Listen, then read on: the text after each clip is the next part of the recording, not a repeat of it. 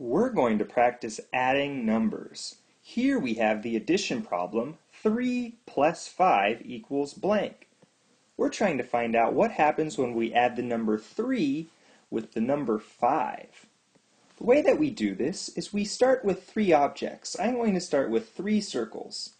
These three circles here represent the number 3. And what we're going to do is we're going to add five more circles. So if we started with three circles and we added five circles, we want to know how many circles there are altogether. All we have to do now is count them. One, two, three, four, five, six, seven, eight. Three plus five equals eight.